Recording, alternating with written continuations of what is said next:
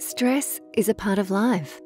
While some stress can help you stay focused and achieve your goals, too much stress can affect your mental and physical health. One way to think about the impact of stress is the stress bucket. The bucket represents how much stress you can manage.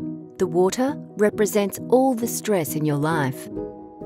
We all have a level of stress or water that we can manage, but sometimes things fill your stress bucket. You could be worried about money, you may be moving house, or having conflict with family or friends.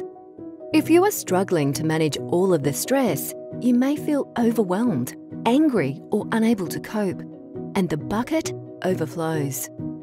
Research tells us that too much stress is linked to things like anxiety and depression, weight gain or loss, heart disease, and it can even weaken your immune system.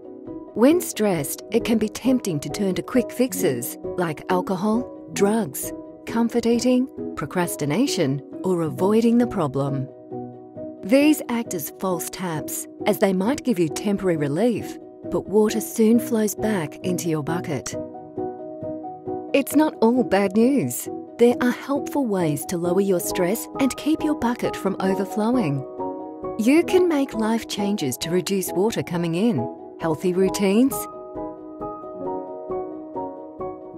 doing things that we enjoy and give us satisfaction, planning fun activities, clear thinking, and spending time with good people.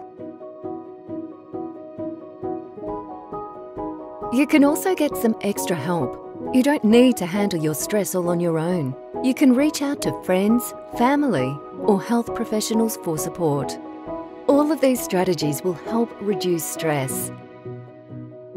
Stress is a part of life, and while you can't control all the things that happen in life, you can control how you respond to and manage them.